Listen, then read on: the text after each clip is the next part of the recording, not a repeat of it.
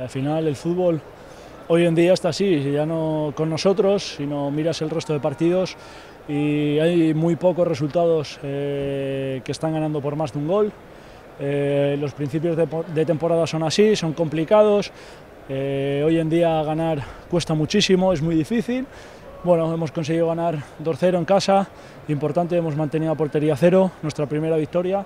Bueno, yo creo que hay que darle mérito al trabajo y a disfrutar. Que los primeros minutos nos ha costado, eh, no es excusa, pero es verdad, también hacía mucho calor, eh, veníamos de, de no ganar los dos partidos anteriores y bueno, siempre cuesta ganar al principio de temporada, ¿no? Y hasta que arrancas, hasta que consigues los primeros tres puntos, hasta que el equipo al final, pues bueno, coge esa confianza, es difícil, pero bueno, yo creo que el equipo eh, ha sabido sufrir los momentos complicados. Eh, hemos sabido aprovechar nuestro momento y es verdad que la segunda parte, eh, pues bueno, al final a lo mejor gracias al gol, gracias a ir ganando, pues bueno, yo creo que la gente eh, con más confianza eh, hemos podido hacer tres, cuatro ocasiones de gol que hemos tenido para hacer gol, no ha sido así, pero bueno, creo que hemos ganado, hemos tenido portería cero y la verdad es que contentos por el trabajo. Bueno, dar las gracias a la gente, porque el calor que hacía,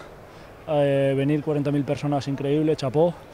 Eh, y bueno, pues eh, es verdad que es importante ganar y tal parón, eh, primera victoria en liga, sumar cuatro puntos y bueno, ahora desconectar, a, yo personalmente a centrarme un poco en la selección, a intentar hacerlo lo mejor posible y a venir con las pilas cargadas, que ahora tenemos muchos partidos y va a ser una exigencia muy alta. Contento porque bueno, siempre que haces gol es motivo de satisfacción porque además ha servido que, para que el equipo sume tres puntos, que al fin y al cabo es lo que queremos todos y es lo importante. Y bueno, eh, a seguir, eh, ya te digo que esto acaba de empezar, queda mucho, quedan 30 y 36, 35 partidos de liga y bueno, eh, ahora a descansar y a preparar el siguiente partido que no va a ser sencillo.